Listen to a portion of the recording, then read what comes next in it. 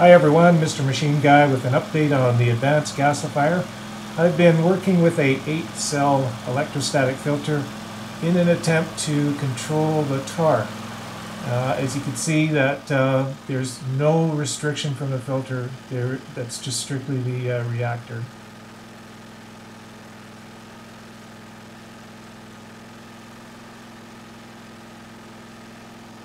As you can see, the gas quality is excellent. All you're seeing there is a little bit of water vapor going by, but there are problems with this filter. First off, if a cell fails, you've got a big problem.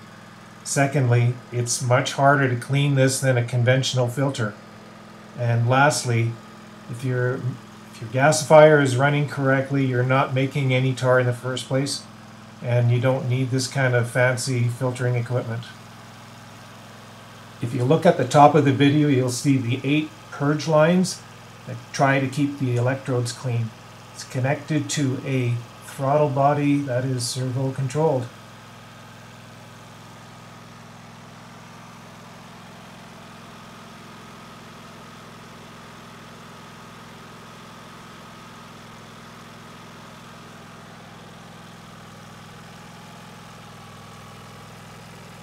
Here's a view of the water-cooled heat exchanger and here is the automatic ignition.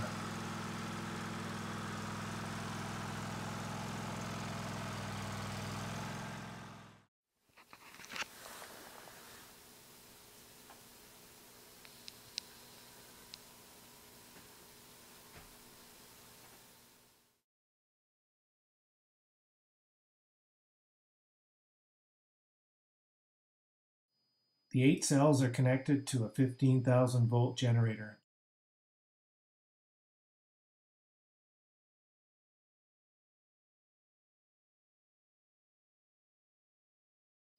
On the bottom is the inlet, and on the top the outlet.